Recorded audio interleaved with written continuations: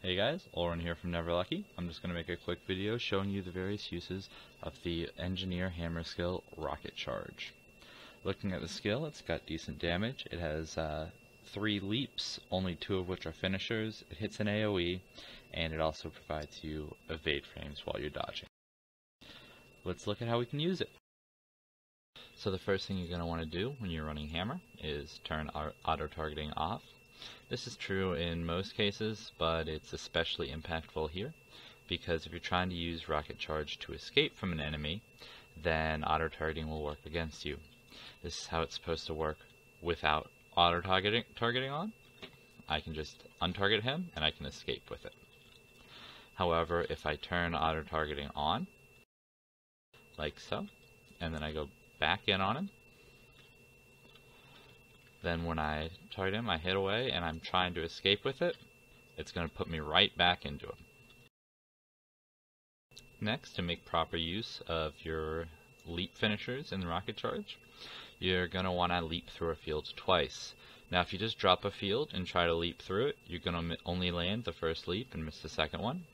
So you're just going to want to make sure that you have your enemy targeted when you drop your field. And then leap into them and both your leap finishers will land. Next, you're going to want to turn on another setting for your hammer. It allows skill retargeting, it's in your general options, and basically it lets you change the target of your cast in the um, of your skill in the middle of your cast. Uh, it's good for most classes, but it's especially important on engi, because in the middle of your rocket charge, you can decide to reposition. Just click on the target, and it'll take you to it.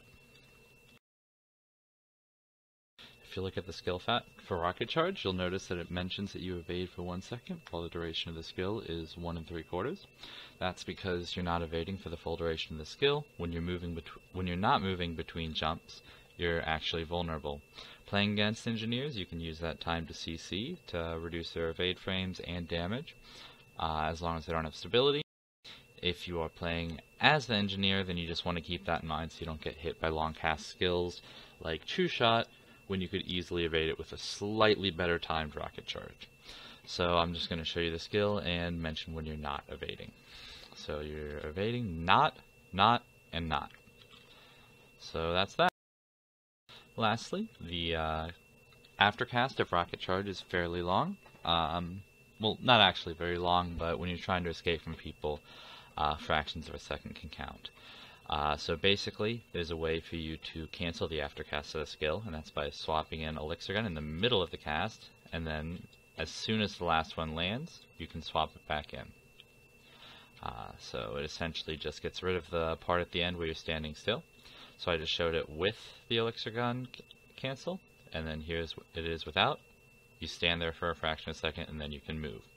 I'll show you it one more time with the Elixir Gun just to show that I'm able to move immediately after I finish the cast. So here we go.